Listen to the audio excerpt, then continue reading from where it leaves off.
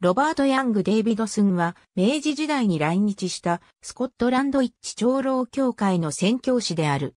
1846年、スコットランド一致長老協会の牧師で、神学博士の父、ピーター・デイビッドスン、母メリーの間に生まれた。高等学校を卒業後に会社事務員として働くが、後に牧師を志し、エディンバラ大学ニューコレジに進み、一致長老協会の神学校で学んだ。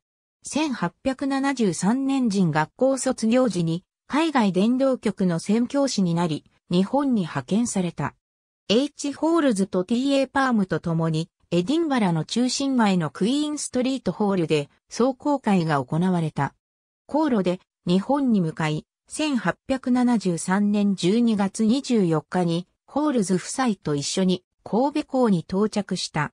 デイビッドスンはクリストファー・カロザースの経営する築地大学校の教師になる。日本語教師に播磨辰野藩出身の小野重俊を雇った。小野は1874年4月10日に洗礼を受けた。その後で旧沼津藩出身の三浦徹が日本語教師になり、デイビッドスンから洗礼を受けて助手として働いた。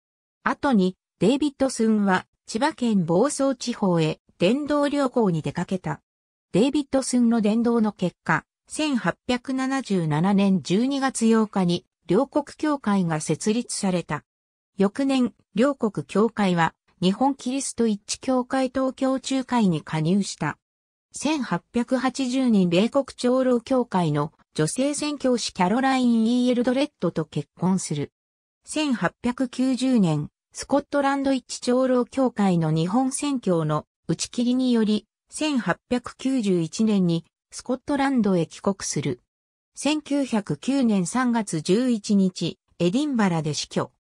中島浩二、辻直人、大西春樹、長老、改革協会来日宣教師辞典新教出版社、2003年。ありがとうございます。